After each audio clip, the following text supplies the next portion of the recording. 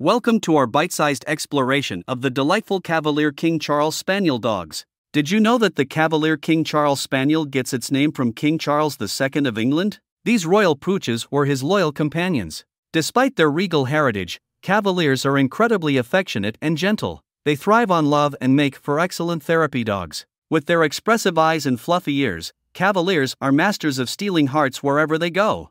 These intelligent pups are quick learners. Whether you want them to excel in obedience, agility, or learn new tricks, they'll impress you with their abilities. Don't hesitate to explore more about these wonderful companions.